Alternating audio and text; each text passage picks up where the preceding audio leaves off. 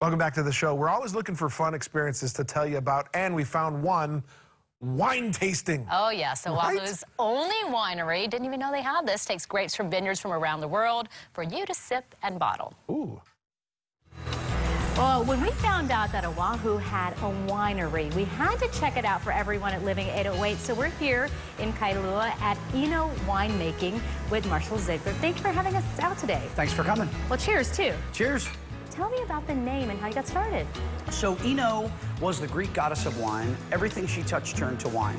So that's where our name comes from. Now down here in Hawaii, the local pronunciation would be Oweno or Owino, which we hear a lot. I call it Ono, like delicious.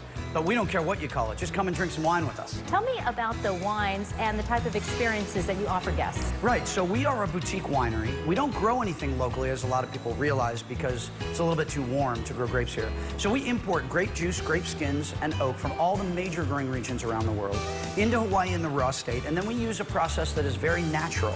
Very little preservatives because our wines are meant to be drank young. So not aged like what you see in American grocery stores.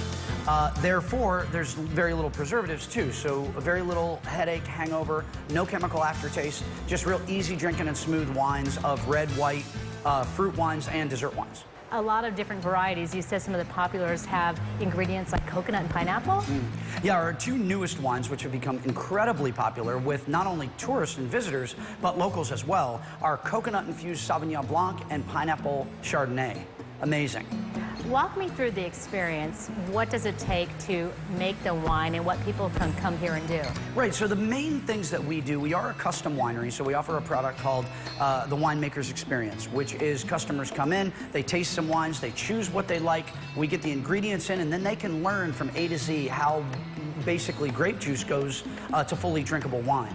That product, also called our Winemaker's Experience, um, allows the customer to create their own vintage and their own label. And then when the wine is ready, they come back, have a bottling party, and they get to bottle up, label, cork, and seal their own wine.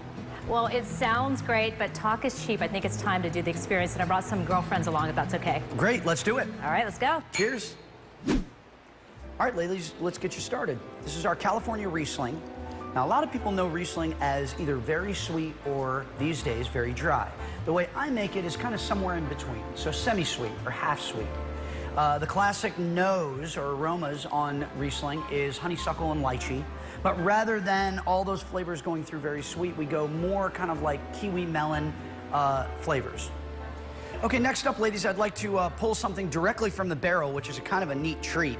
Uh, this is our Sonoma Dry Creek Chardonnay.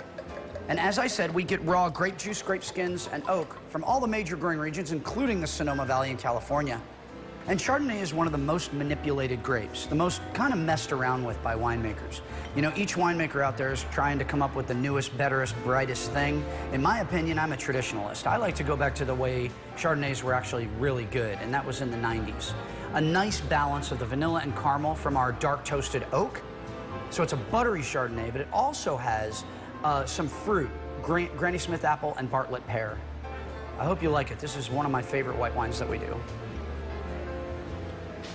And ladies, let's change to some red wine, one of our most popular styles. And our reds are just so much less, uh, they don't bite back at you. They're very, very soft and smooth. This is a unique one called Cabernet Franc. Very rarely seen as a single varietal, usually blending grape. But you have a little bit of acid and then your red currants, red berries, and then a little bit of boysenberry as well. Medium body, it's got a nice kind of smoke to it. Also to munch, so you uh, don't drink too much, um, we have our homemade rosemary parmesan bread glazed with our garlic butter, and then tomato basil sauce with herb goat cheese.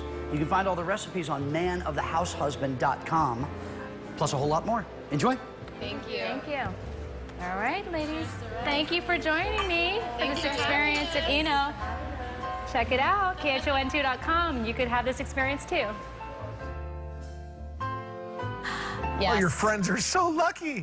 Uh, that was good. We uh, got to go out there after May Day and do that. I had no idea. All of us live Kailua, Windward, Oahu, and none of us knew about it. So it was a fun thing to do. But you could do it for celebrations. You can create your own label, mm -hmm. bottle it, and it, it, comes out to be affordable. When, when you do a whole barrel like that, you pick exactly what you like. It comes out to maybe about $13 a bottle. Wow. Yeah, with your own custom label no. on it. It was good, huh? It was good. So was the bread too. There you go. Uh, you're welcome, everyone, because we're always looking for something that's uh, that's trending, that's new, that's Mm-hmm. maybe been around that you haven't heard of. Tanya found a winery. I know. Awesome. We're working for Hawaii. yes, we are. All right.